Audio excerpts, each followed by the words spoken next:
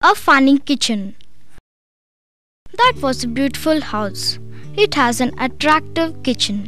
One fine night, all the kitchen items are discussing among themselves. I am the Maharaja of the kitchen. If I am not there, how people get tasty food? Oh, my friend, if I am not present, how people would get tasty masalas? Not you both. I am very important in kitchen. If I am not there, how people cook vegetables? Oh Pan, you're thinking about curries. If I am not there, how people make chapatis? I am the source of fire. Without fire, people can't cook anything. Ha ha ha! You are silly fellows. People cook everything on me. I am great. Oh, you all are quarreling for a silly thing. Oh, you are lighter and stove. How can people cook food without gas? In this way, everyone are quarreling themselves. Meanwhile, house owner woke up. By the time she reached kitchen, all the items were on the ground. Oh silly friends, human beings got top priority among all of us. Without humans, how we all could come? It's true. Therefore, don't be proud of yourself. Everyone has their own talents. The Golden Eggs Long, long ago, in a village called Raipur, there lived a farmer. He had a small poultry farm. One morning, working in the poultry farm, he found a beautiful shining thing lying on the ground. He picked it up and exclaimed, It is a golden egg. He carefully carried the golden egg into his house. He showed it to his wife. At first, she was surprised and then cried happily, We are rich. We have a hen that lays golden eggs. We will never have to work. Next day, the farmer entered the poultry. He was very curious. He found another same type of egg lying on the ground.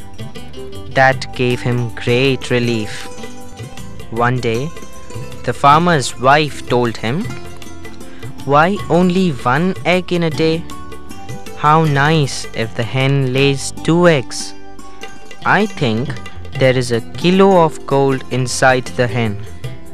But she lays only one egg a day.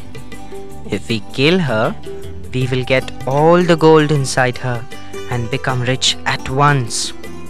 So they killed the hen that laid golden eggs. But they did not find any gold or golden eggs inside her. So, out of greed, the farmer and his wife lost all the fortune which they had got. Trial of Strength Long, long ago, the sun and the wind came to have a heated argument. Either of them claimed to be stronger than the other. The wind roared in a hissing sound. I am far stronger than you. But the sun retorted, Mention not, you cannot equal me in strength. How, after all? Let me know, said the wind. The hot words were going on when a traveler happened to pass by them. He had wrapped a shawl round his body. Both the sun and the wind looked at the traveler. Whosoever is able to make the traveler take his shawl off his body shall be the winner, said the sun. The wind agreed to the condition and she chose to try her strength first. At first, she blew gently, hoping that the traveler will move the shawl off his body, but it did not happen. So the wind flew into a rage and began to blow with her full force. Seeing it, the traveler wrapped his shawl even more tightly around himself. All of a sudden, an idea struck the sun. His eyes sparkled with the hope of getting a solution for this dispute. We can decide between ourselves which of us is stronger, remarked the sun. Now it was the turn of the sun. The sun began to shine gently at first. The traveler felt relieved and loosened the shawl a bit. But then the sun went on growing hotter and hotter. The traveler felt hot and took his shawl off his body. So the sun emerged as the winner, and the wind had to accept her defeat. The Singing Donkey The washerman's donkey was out of job. Being old and weak, he was unable to carry weight, so he was left to fend for himself. He picked up friendship with the jackal. They roamed together in search of food in and out of the city.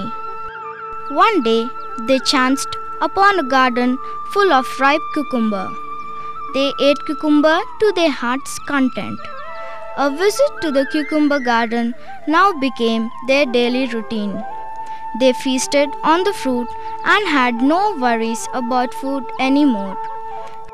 On one moonlit night, after a heavy dinner of cucumber, the donkey felt like singing with joy. Friend, I will sing for you, he told the jackal. No, you keep quiet. The gardener will wake up.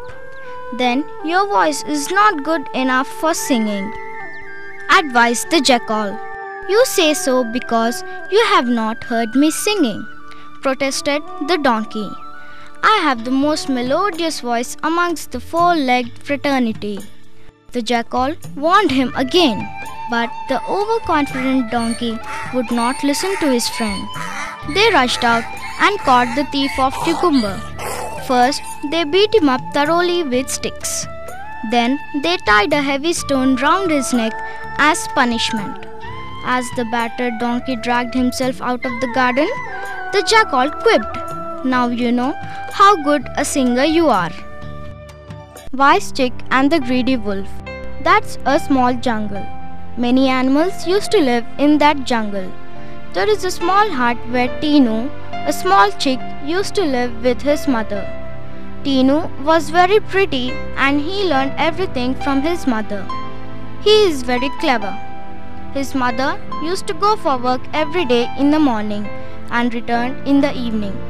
One fine morning, his mother, as usual, left for work. Tinu was all alone in hut. Then Tinu heard that someone knocking the door.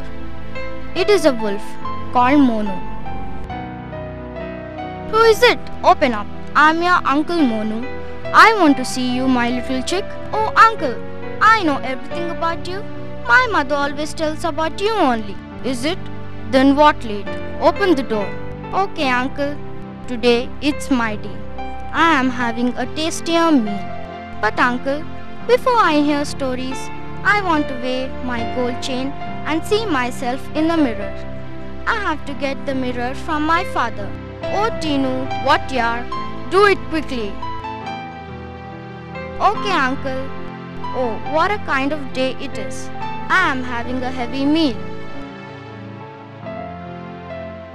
After a few minutes, my little Tinu, is your makeup completed?